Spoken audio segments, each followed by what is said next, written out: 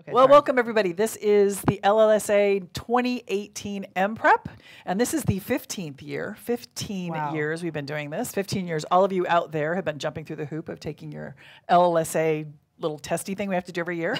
and in honor of the 15th year, we actually have a new sort of person up here on the panel. Yes. So this is not Billy. Those of you who are watching, and those of you who are listening, it isn't Billy. You'll hear her talk in a second. This is Jan Shoenberger. She's actually taken some time out of her incredibly busy schedule to help do this today, and it's going to be delightful. I think you're really going to enjoy it. So Jan, tell people a little bit about yourself. Well, thanks for having me here, Diane. I'm very happy to be here. Uh, my is Jan Shoenberger. I uh, come from the LA County USC Medical Center, which is across town from Big Diane. county. She's in the big hospital. We're in the little one. and I'm the residency director there, and I'm just thrilled to be here going over these articles. And some of you out there who are listening and or watching have either heard and or seen Jan before because you've probably heard her on the EMA um, tapes the last year or two Yeah. that's been going on. So Yeah. you, you are familiar with that voice and the erudite sort of pithy comments that she makes.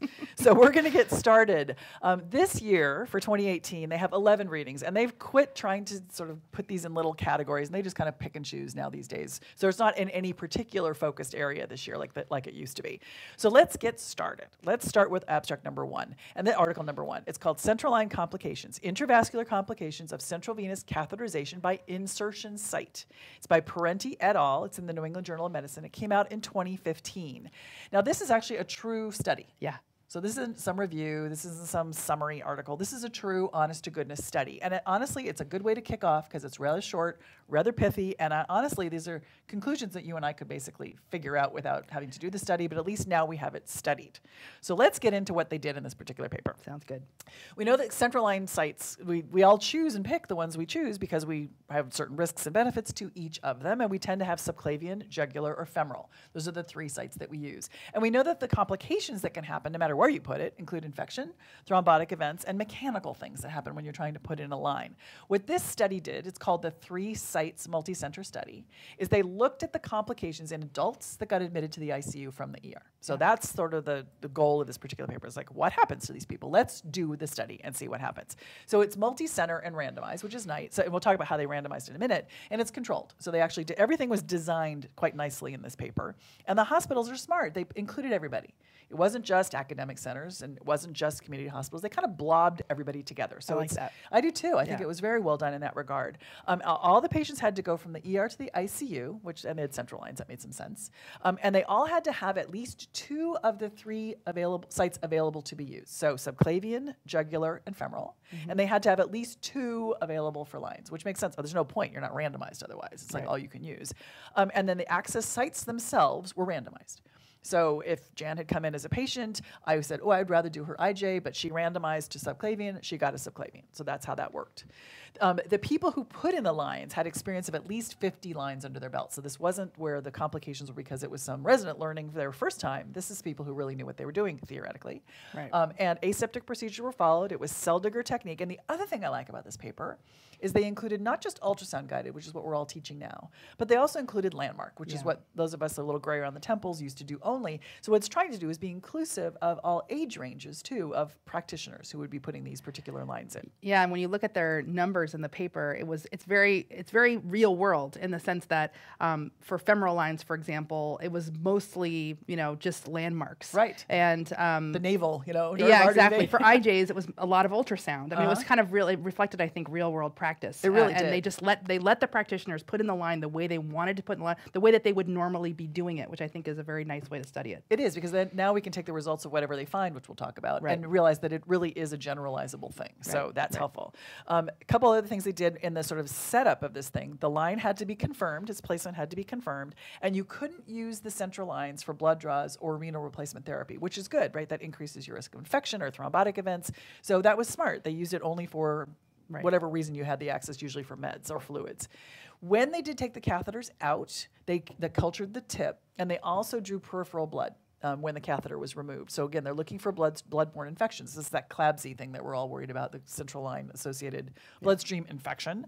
Um, and then if the patient left the ICU, what they would do is they draw blood at the time they were transferred out of the ICU as well. So we got some nice points along the way where you're really getting just the ICU view of this, not what could have happened on the floor.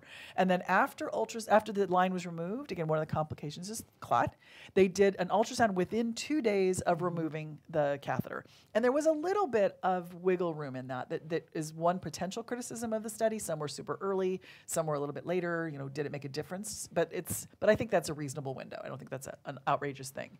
What they wanted to look at, their pri- and you always want to look at this in every paper, their primary outcome here was the incidence of ma- major catheter related complications, which they defined as a composite, two things together um, blood, bloodstream infection or symptomatic DVT. So clot that was symptomatic, not just there, Yeah. that was symptomatic, because if it's not symptomatic and it goes away, who cares? So that was also nice, nice nuance of this paper. And so it was a conglomerate, it was those two things, a composite endpoint. And then they looked at secondary outcomes, which is the, me- the mechanical complications. Like the you know pneumothorax. pneumothorax, Right. you know, getting a hematoma, that Yeah. sort of thing. So, so all this, uh, the point of all this discussion is to, it, is this something you can apply to your practice? Absolutely. A couple little tweaks of this, maybe, but it's a good paper overall. So, what happened? A lot of people, actually, an amazing number of people. Yeah. 3,000 patients were included in the study, 30, almost 3,400, 3,500 catheters, and really well divided. Yes. Okay, about a third, a third, a third. So the randomization worked out pretty well in that regard. The patients, when they looked, were comparable across the board, so there were no sort of weird randomized things where you got a sicker group in one. It was pretty nicely even across the board. And they did find, as Jan was talking about, that when it came to ultrasound versus landmark, the landmarks were used for subclavian. To be honest, it's hard. It's not impossible, but it's hard to use ultrasound Yeah. for subclavian. So that was all landmark done. Yeah, that was another thing that this study got a little criticized for, just because more people are using ultrasound um, more frequently than it was in this study. But I, I, I still go back to the fact that I think that just letting people do it as they would have done it. You know, for example, I do subclavians by landmarks. I don't use Me too. ultrasound. Like I said, it's harder. Yeah. But there are people who say you you have to use ultrasound for every site that you do a central line. Well, I didn't even realize you could see the subclavian Yeah. with ultrasound until the resident showed me. I was like, oh, there it is. Oh, wow. Cool. Well, that's they, cool. they really let people do it as they would do it. it is. It was good. It was good. Um, the median catheter duration was five days, which is also not uh, outrageous. That was pretty. It's not like it was in there forever, or it was just popped out super quick. So that was actually kind of nice. Now let's get to the results.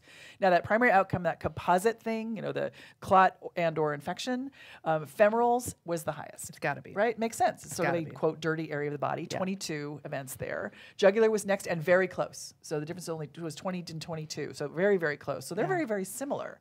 And then subclavian was way down Yeah. below. Only eight events were that. So that that actually makes sense. I think that makes sense as far as the was there a clot or was there some sort of catheter related infection. I think that makes sense. Um, as far as maybe the mechanical complications, and this is the flip side. This is the did you drop a lung or did you get a big clot? Did you bleed? That sort of thing. Well, now this also we could all sit around and drink a beer and all come up with the answers to this That's one. right. The most common was subclavian, Of course. Because the lung is right there. Right. So they, that was the most common. The next most common was Jugular. jugular, Yeah. which also makes sense. And the least common was femoral. Right. Okay, you don't really drop. If you drop a lung from a femoral line, you're in trouble. right? That just doesn't work.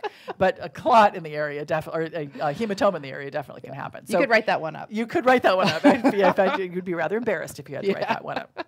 So they basically said, here's the deal. Subclavian site decreases the risk of badness of, as far as bloodstream infections and symptomatic DVT.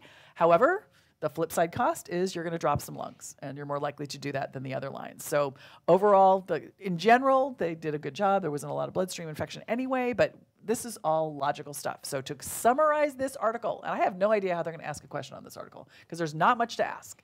Subclavian site is decreased risk of infection, decreased risk of DVT, increased risk of mechanical complications. Done. Yeah. So simple, tidy little paper. The data's out there now. It's kind of a hard finding now that's out there. Kind of nice, but I can't imagine they're going to ask more than one question on this one because there's not a lot to it. Yeah.